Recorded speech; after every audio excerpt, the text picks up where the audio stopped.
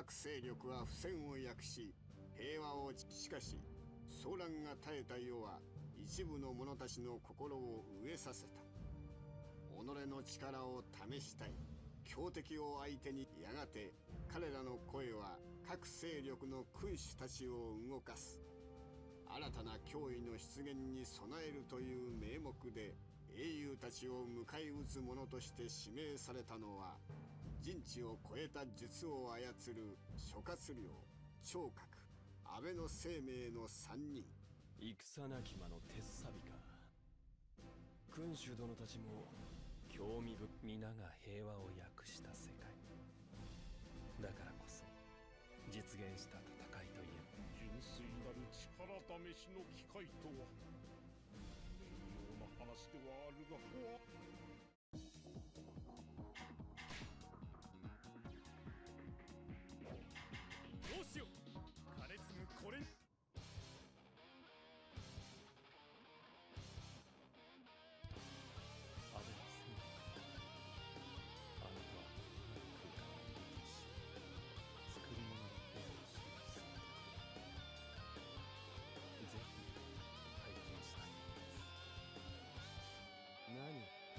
雨土を読みその力を借りただけに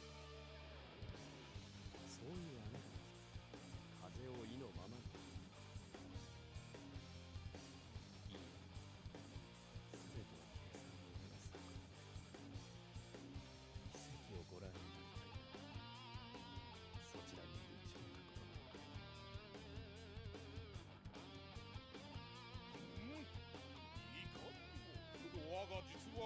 は光天の導きによる奇跡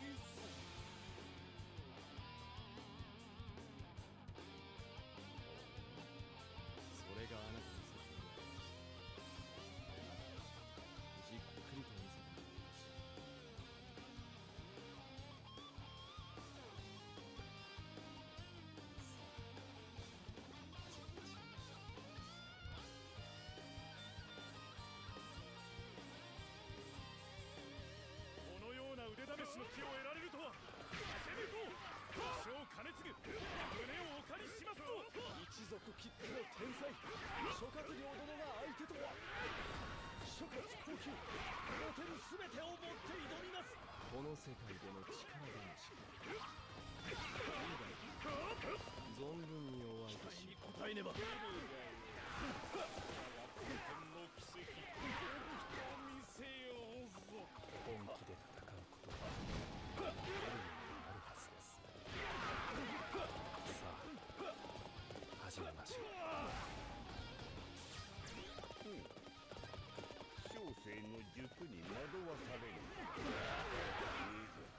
が出るよ。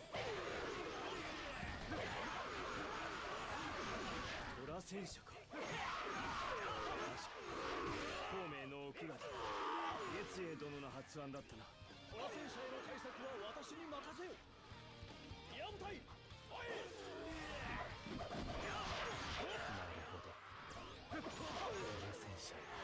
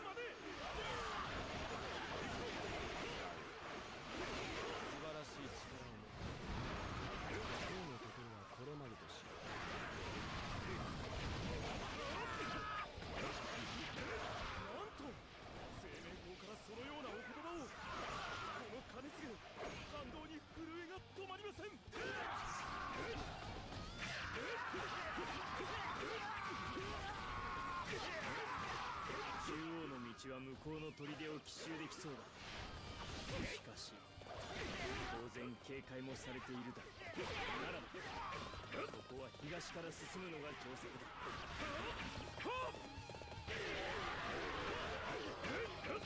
お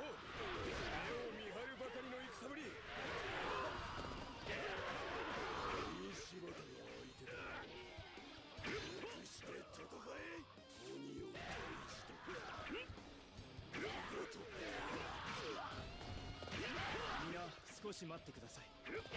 この知性本来なら伏兵を仕込むはず。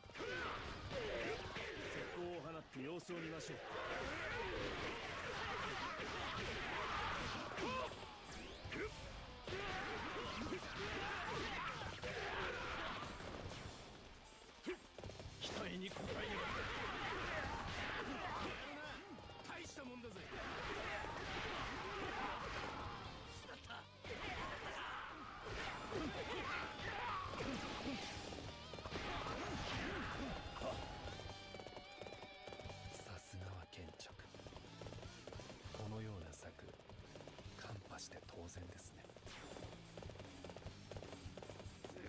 金庫活躍。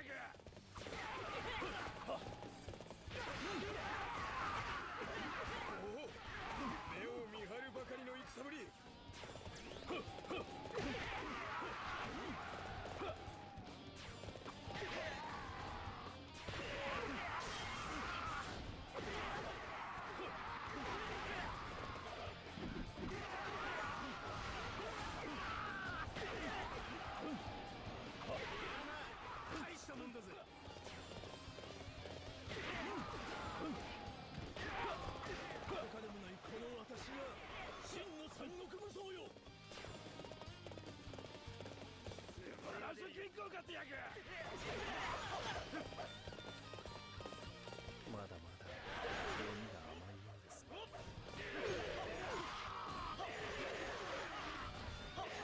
生命校の式神か見晴らしが効くところで式神の伏兵か。さすが孔明卓抜した傭兵だ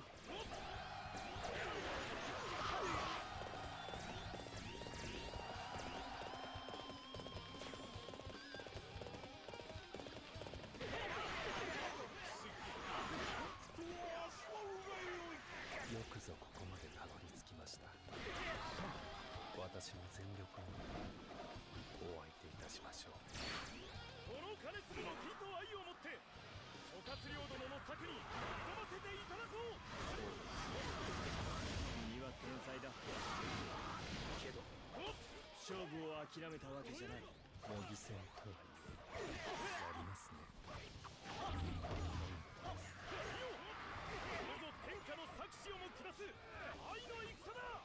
まさか君に勝てるなんてまぐれであっても素直に嬉しいよ。まさか竜に勝てる日が来ようとは。この諸葛高級今日のことは一生忘れません。